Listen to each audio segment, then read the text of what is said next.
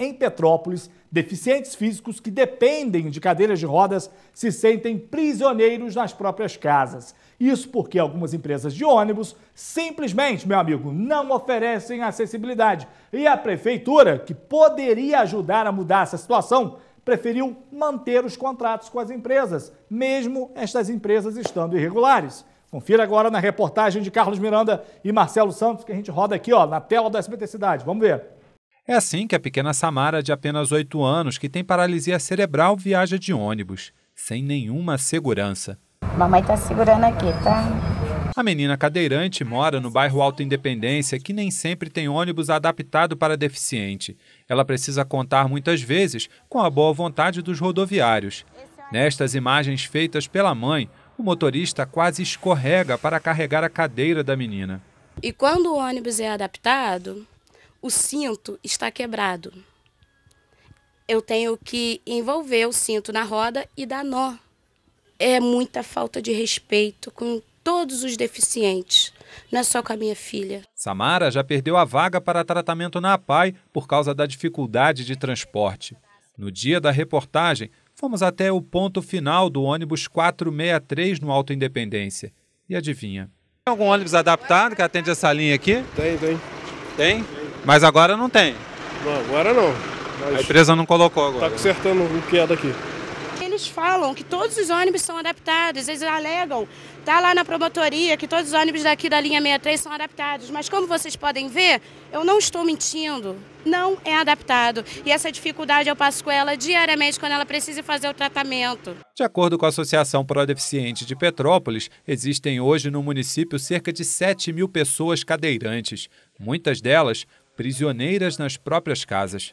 Não mataram, não roubaram, não desviaram verba de ninguém, mas hoje quem é, é, utiliza uma cadeira de roda ou é deficiente visual estão presos dentro de casa sem poder sair de dentro da sua casa. A Agência Nacional de Transportes Terrestres determinou que até dezembro do ano passado, todos os ônibus em circulação no país fossem adaptados para deficientes. Mas hoje, aqui em Petrópolis, ainda é comum encontrar coletivos sem acessibilidade. E um detalhe, a linha 463, que atende o bairro Alta Independência, onde mora nossa personagem, deveria ter passado por licitação este ano. Mas a prefeitura optou por estender o contrato da atual empresa por mais 10 anos, mesmo diante da irregularidade. Infelizmente, a empresa não cumpre com o dever dela e quem paga é a minha filha.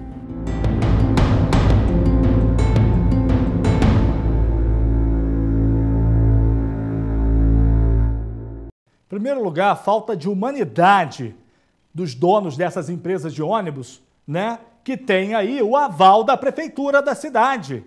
Tem o aval da prefeitura. Bem, vamos ver aqui o que, o que o município respondeu, né? A prefeitura informou que a renovação dos contratos se deu com a inclusão da cláusula sobre a renovação da frota, que vai permitir a adaptação em até um ano para deficientes um ano ainda, né? É bom ressaltar, lembrar, seu Rubens Tempo, que essa adaptação foi pedida há 10 anos e o prazo venceu no ano passado. Então, a justificativa para a falta de acessibilidade em todos os veículos seria a impossibilidade de adaptar as plataformas às estruturas dos coletivos. Um bando, um monte de conversinha, né? Petrópolis está atrasada no tempo, está parada no tempo. Isso é um desrespeito com o cadeirante aí na cidade imperial. Vou te contar uma coisa, hein?